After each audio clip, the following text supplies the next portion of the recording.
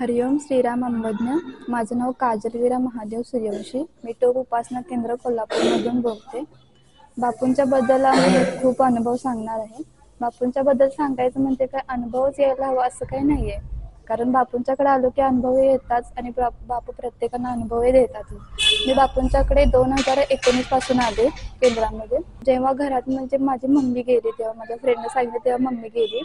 तेव्हा तिनं सांगितलं मग हा जाऊया म्हणते बघूया आपण. म्हणजे नेमकं बापू हे कोण आहेत? तर ते डॉक्टर आहेत.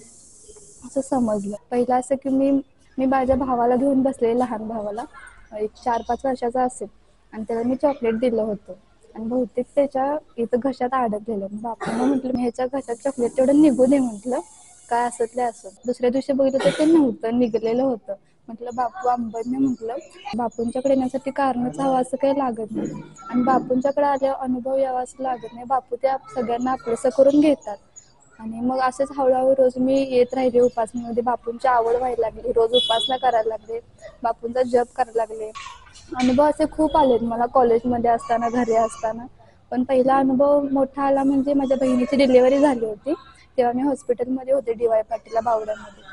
तेव्हा डिलेवरी झाली दोन तीन दिवसांनी मग आठ दिवस राहिले होते तिथं. आणि काही जर कारणामुळे मी खाली गेले होते सेकंड फ्लोअरवरून खाली लास्टला आणि मी खाली काहीतरी आणायला गेले माझा फोन पडला. आणि फोन पडला मला लक्षात नव्हतं मी खालून फोन पडल्यावर पंधरा वीस मिनिटांनी लक्षात आलं माझ्या फोन माझा नाही आहे माझ्याकडे म्हणून. आणि फोनला तरी वॉलपेपर बापूंचा रिंगटोन बापूंचं सगळं बापूंचंच होतं. बापूंना म्हणते बापू माझा फोन गेला आणि तुम्ही माझा फोन तेवढा हुडकून द्या मला काही माहीत नाही. तुम्हीच द्यायचा म्हटलं आणि फोन तर रिंग तरी सायलेंट होता हॉस्पिटलमध्ये त्यामुळे. आणि फोन असा वॉलपेपरच्या ग्रासवरती पडलेला हॉस्पिटलच्या बापूनं म्हटलं काय करू फोन कॉलिंग केले मेसेज केले पर्सनल कोणाला फोन सापडला तर तो त्यांनी ह्या नंबरवरती आणून द्या. फोन रिंग होते पण फोन कोणी उचलं ना आणि फोन उचलला मग लास्टला खूप वेळा ट्राय केला. एक तासभर ट्रा ट्राय केला. मग परत उचलला फोन म्हटलं हां म्हटलं माझा फोन आहे म्हटलं हरवल्याने तुम्ही द्या. तर हा म्हटले असा असं फोन माझ्याकडे आणि तुम्ही त्यांनी ॲड्रेस दिला.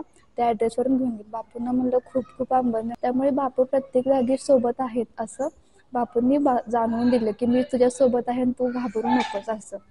आता फक्त बापूच हवा आहे. बाकी काही नको. हरिओम श्रीराम अंबज्ञ नाचन हरिओम.